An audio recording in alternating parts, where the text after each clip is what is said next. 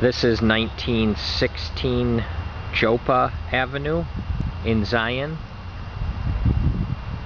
This is a uh, three bedroom, two bathroom tri-level. It's got an asphalt driveway. Room for probably three cars, I guess. Is aluminum sided.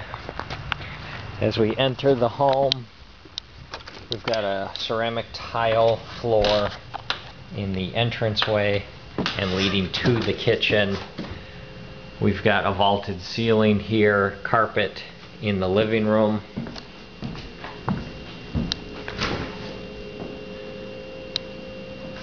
This connects to the kitchen. Kitchen has a vinyl tile floor table space. I'll give you a shot out the sliding patio door to the backyard. As you can see, we've got a fenced backyard. Patio here, back there, there is a concrete slab with a basketball hoop back there. Another shot of the kitchen. Lower level to the left bathroom with a shower stall, shower stall, toilet, sink, ceramic tile floor. Main area down here, we'll call this a family room.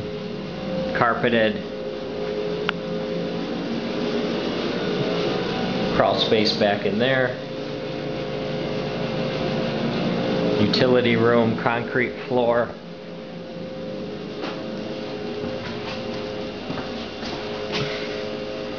Utility sink hot water heater, furnace.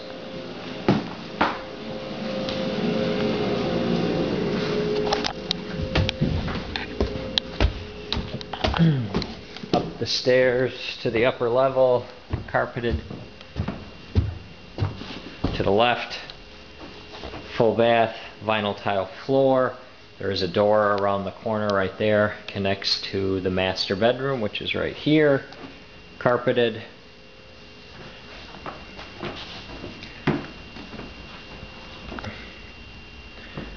Couple of closets over there. Also like I mentioned leads to the bathroom.